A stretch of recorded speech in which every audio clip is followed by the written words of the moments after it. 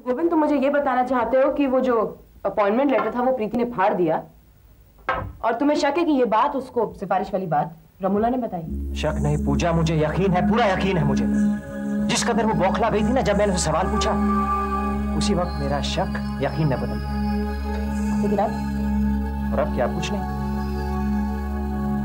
हालात मुझे प्रीति से इतने दूर ले गए कि अब वो मेरी कोई भी बात सुनने को तैयार ही नहीं है। उसे मेरी मदद चाहिए ही नहीं। ये तो बहुत अच्छी बात है। क्योंकि मदद उसी आदमी को ज़रूरी होती है जो कमज़ोर होता है। And Preeti is a strong girl मगर मैं तो कोई गैर नहीं हूँ ना पूजा। मैं उसका हूँ उसका अपना गोविंद और मेरी मदद मदद थोड़ी लेकिन तुम उसके गोविंद रहे कहाँ गोविंद? माना कि तुम दोनों एक राह पर चल रहे हो। लेकिन तुम्हारे किनारे अलग अलग हैं। और धीरे धीरे तुम लोग अपने अपने मोड़ पर मुड़ जाओगे और पता भी नहीं चलेगा कि कौन कहाँ गया। ये तुम कह रही हो पूजा? मैं ऐसा कभी होने नहीं दूँगा। ऐसा ही होगा गोविंद सिर्फ़ सोचने से कुछ नहीं होता उसके लिए कोशिश भी करनी होती कोशिश तो मैं कर रहा हूँ ना पूजा। कितनी कोशिश कर रहा हूँ?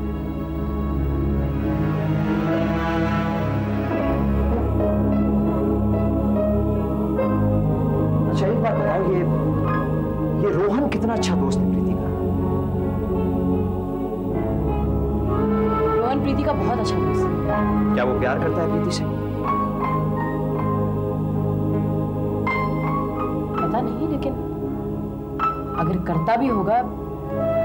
उसने आज तक किसी से कहा नहीं। नहीं करता होगा। हो सकता है। लेकिन तुम ये अचानक रोहन के बारे में क्यों पूछ रहे हो? देखो पूजा मैं कभी भी प्रीति से अलग नहीं हो सकता। उसने भले ही मेरे मेरे सिफारिश से मिला हो अपॉइंटमेंट लेटर फाड़ के फेंक दिया हो मगर खतों के फाड़ देने से रिश्ते थोड़ी टूटते हैं। एक बार एक रिश्ता कायम हो जाता है, वो ज़िंदगी भर के लिए होता है, वो वो कभी खत्म नहीं होता। मैं हमेशा प्रीति के साथ रहूँगा, उसके कदम से कदम मिलाकर चलूँगा। वो जब जब मुझे पुकारेगी, जब जब उसे मेरी ज़रूरत महसूस होगी, मैं उसके लिए तैयार हूँगा मैं उसके लिए मौजूद हूँ ऐसा करने से सिर्फ़ तुम उसका दुख बढ़ाओगे और कुछ नहीं। गोविंद, प्रीति को तुम्हारे साथ कदम से कदम मिला के चलने में कोई एतराज़ नहीं। वो तो सिर्फ़ इतना चाहती कि अगर तुम उसके साथ चल रहे हो तो एटलीस्ट दुनिया को तो बता दो। उसका भी वक्त आएगा पूजा उसका भी अपना एक वक्त आएगा। नहीं आएगा गोविंद वो वक्त नहीं आएगा। आई एम सॉरी मुझे इस तरह चिल्लाना नहीं चाहिए यहाँ पर क्योंकि ये तुम्हारा ऑफ़िस है मैं तुम्हारी एम्प्लॉय हूँ। लेकिन प्लीज़ डोंट माइंड मैं इस वक्त एक दोस्त की हैसियत से बात कर रही हूँ। तुमने अपने आसपास एक झूठी दुनिया बुन रखी है। और तुम्हें इतना यकीन है उस झूठ पर कि तुम उसी में जीते हो।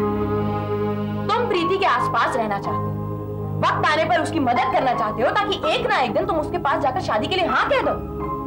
और इस बीच में तुम्हें सिर्फ़ इस बात का ख्याल रखना है कि उसकी ज़िंदगी में कोई और आदमी ना आ जाए। इसलिए मुझे तुमने अपना एम्प्लॉय बना दिया है और रोहन के साथ दोस्ती करना चाहते हो ताकि वो तुम्हें प्रीति के बारे में खबर देता रहे। ये सारी बातें किसने बताई तुम्हारे डैडी और ये मत सोचना कि उन्होंने मुझसे कुछ शिकायत की। वो तो तुम्हारा ज़िक्र हुआ तो ये बात कि आजकल तुम ऐसा सोच। रहे हो। सच्चाई तो यही है कि मैं ऐसा ही सोच रहा हूँ। तुम बहुत गलत सोच रहे हो गोविंद। ये गलत है। प्यार कोई बिज़नेस नहीं है कि इसमें तुम स्ट्रेटजी बना सकते गोविंद प्यार तो बस प्यार हो।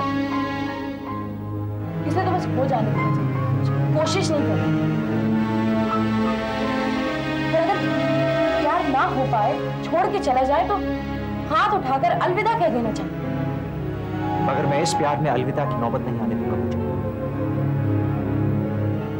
हमारे इस एमबीए की स्टडीज़ ने हमारे दिमाग में एक बात ठूस कर भर दी कि जो कुछ भी चीज़ पसंद आ जाए उसे हासिल करना ही हमें जीतना ही है चाहे कुछ भी हो जाए। उसमें बुराई बुराई कोई नहीं है गोविंद। सिर्फ़ सोच में फ़र्क है। जो चीज़ तुम्हारे लिए अच्छी है वो किसी और के लिए बुरी भी हो सकती है। अगर कोई जंग जीतता है तो ये मत भूलो कि कोई और हारता भी है। लेकिन मौत का मातम दोनों तरफ़ क्योंकि सिपाही दोनों तरफ़ मारे जाते हैं। गोविंद प्रीति के लिए अपने प्यार को इस तरह जंग मत बना इस तरह चाले मत चलो। प्यार को प्यार ही नहीं। अगर तुम्हारा प्यार सच्चा है तो वो तुम्हें मिल जाए और अगर नहीं है तो? और अगर नहीं हुआ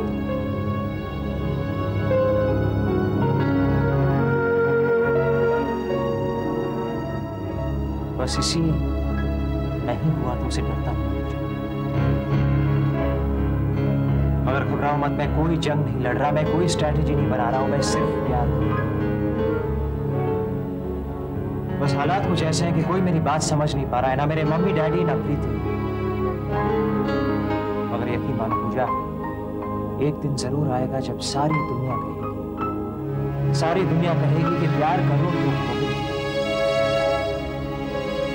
भगवान करे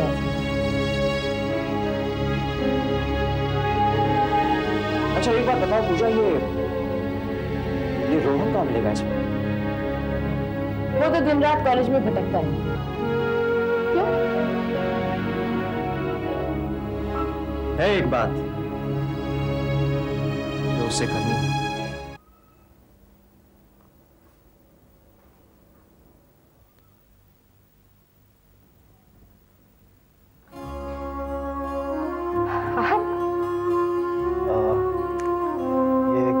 लौटानी थी और कुछ बातें भी करनी थी। हाँ कहिए। अ, नहीं मेरे कैबिन में चलते हैं चलिए।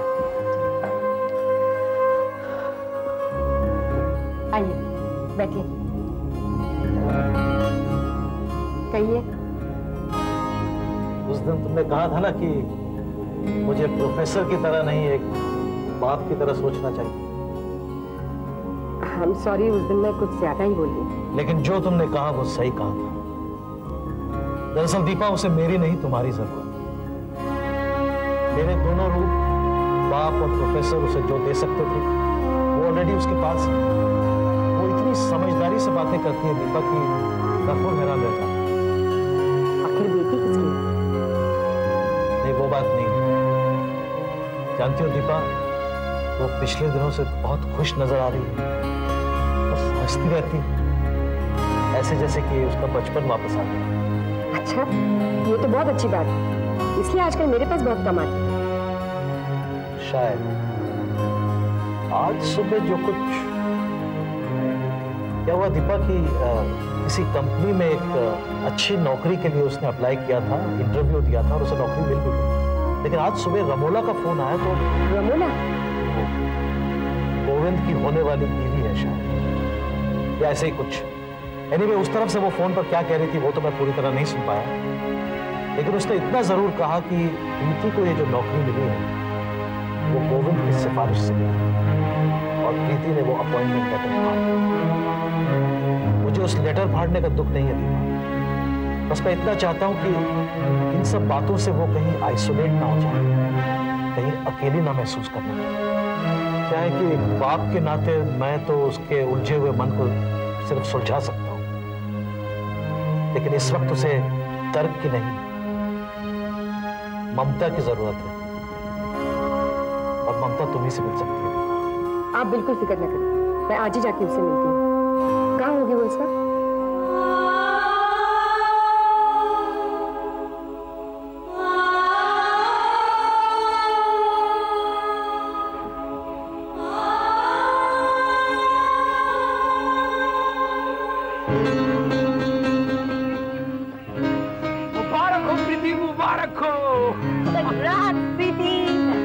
पार्टी दे रही है। पार्टी के साथ। प्रीति हमें बनाओ मत।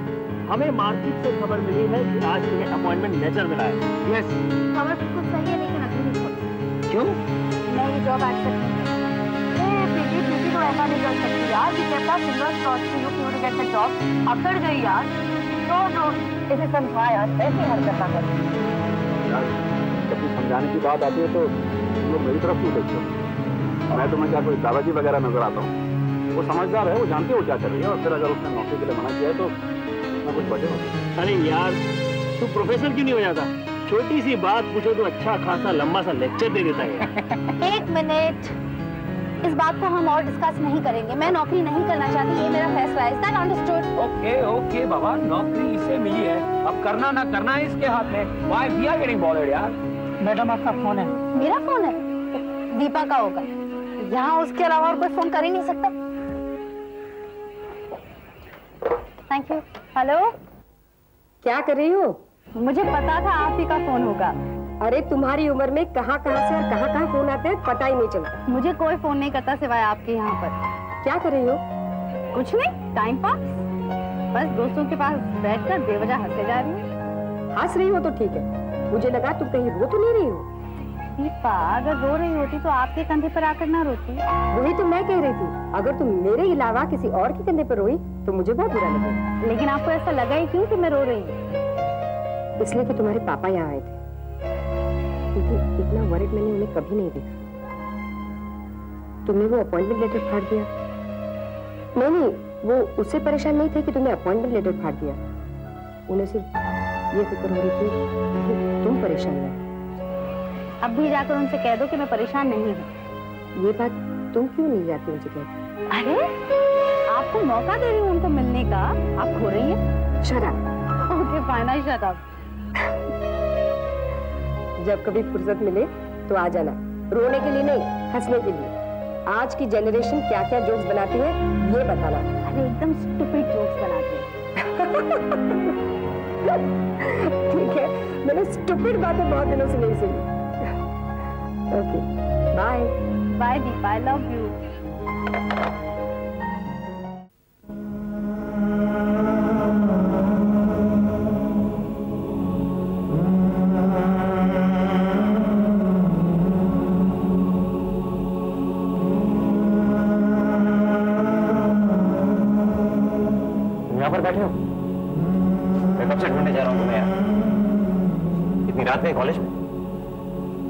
पीछे से अकेला बैठना उसके लिए घर क्या और कॉलेज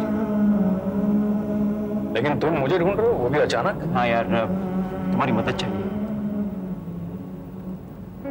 क्या बात है? बात दरअसल प्रीति बोलो।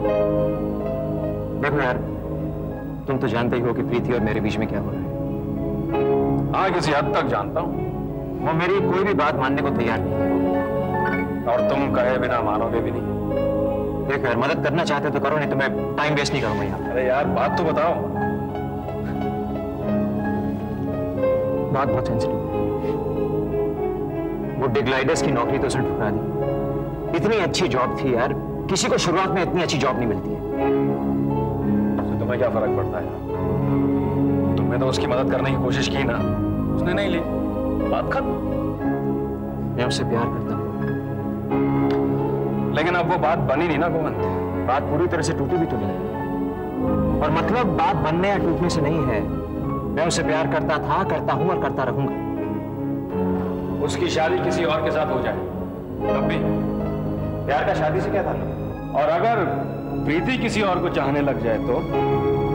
यार कोई टीवी सेट नहीं है रोहन की कि जब चाह बदल दिया पुराना सेट फेंक दिया नया सेट लिया तुम्हारे कहने का मतलब है कि एक बार प्यार हो जाए तो हो गया। अंजाम कुछ भी।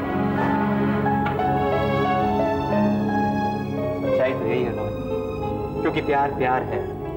शादी की सीढ़ी की पहली शर्त नहीं। है क्या तुम मुझसे ये बात करने आए अरे नहीं यार दरअसल जो बात करनी थी वो तो भूल ही गया मैं। देखो यार एक एडवर्टाइजिंग एजेंसी है वेव्स एडवर्टाइजिंग वहाँ पर एक बहुत अच्छी जॉब अपॉर्चुनिटी है। अगर प्रीति अप्लाई करती है तो उसे वो जॉब मिल सकती है। तुम उस कंपनी के चेयरमैन हो या सीईओ यार हूँ तो कुछ भी नहीं लेकिन मैं उसे ये जॉब दिलवा सकता हूँ और वो भी बगैर कोई सिफारिश के। क्योंकि दरअसल इस जॉब के लिए उन्हें एक फीमेल की ज़रूरत है। प्राइवेट फर्म्स में रिजर्वेशन कब से होने लग गई है? ये तो मैनेजमेंट का डिसीज़न है यार। उनके पास मेल एग्जीक्यूटिव्स काफ़ी हैं इसलिए उन्हें एक, एक फीमेल चाहिए। तो? तो अगर प्रीति अप्लाई करती है तो उसे ये जॉब मिल जाएगी और वो भी बगैर कोई इन्फ्लुएंस के। देखो यार। मेरी बात तो मान रही नहीं है। अगर तुम उससे उससे कहो कि तुमने ये जॉब ढूंढी है और तुम उसकी मदद करोगे इसे हासिल करने में तो शायद वो मान जाए। और जब उसे जॉब मिल जाए तो तो तुम ही क्रेडिट ले लेना यानी कि तुम प्रीति को जॉब दिलाए बिना चैन से नहीं बैठो। चैन से तो मैं शायद अब ज़िंदगी भर ना बैठ पाऊँ। अगर तुम लोग के काम आ सको तो अपने आप को खुश किस्मत समझूं अलग अलग रास्तों में चलते हुए भी हम हम एक हो सकते हैं। मन से। देखो यार, मान जाओ मेरी बात। इसमें कोई चाल तो है नहीं। ठीक है एज यू विश अगर इरादा बदले तो मुझे कह देना।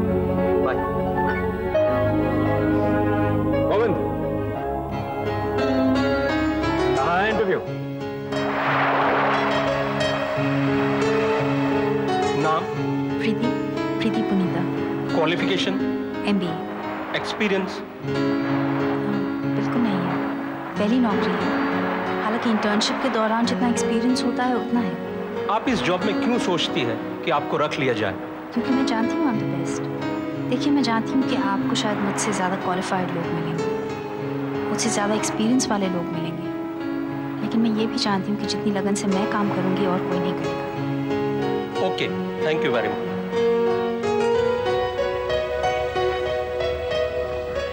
कैसा रहा इंटरव्यू छुट्टी कर दी हम सबकी। गड़बड़ तो नहीं की। इंटरव्यू देते वक्त इंटरव्यू वालों को इस बात का एहसास दिलाना चाहिए कि वो लोग बहुत इंटेलिजेंट हैं। हम लोग तो उन तक सिर्फ़ पहुँचने की कोशिश कर रहे हैं। पकड़ो। ये सब पुराने जमाने की बात है। अब तो ओवर कॉन्फिडेंस से पेश आना चाहिए उनके साथ। जरा सी बदतमीजी के साथ। उन्हें लगता है हाँ इन्हें सब मालूम है। ओके ओके अब ऑटो लेके घर जाओगे? टाउन में ऑटो कहाँ मिलेगा मुझे? गॉड हाँ। अरे लो टैक्सी आ जाओ। अच्छा ये बताओ आज के इंटरव्यू का रिज़ल्ट कब पता चलेगा? अनऑफिशियली तो उन्हें बता दिया ऑफिशियली कल तक कुरियर आ जाए चलो। आ, मुझे जरा यहाँ कुछ काम है। तुम चलो बाय बाय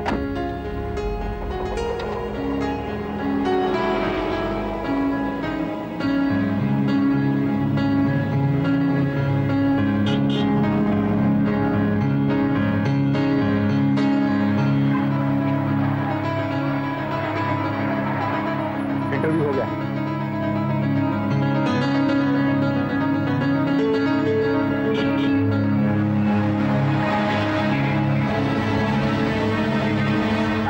वापस लीजिए प्लीज़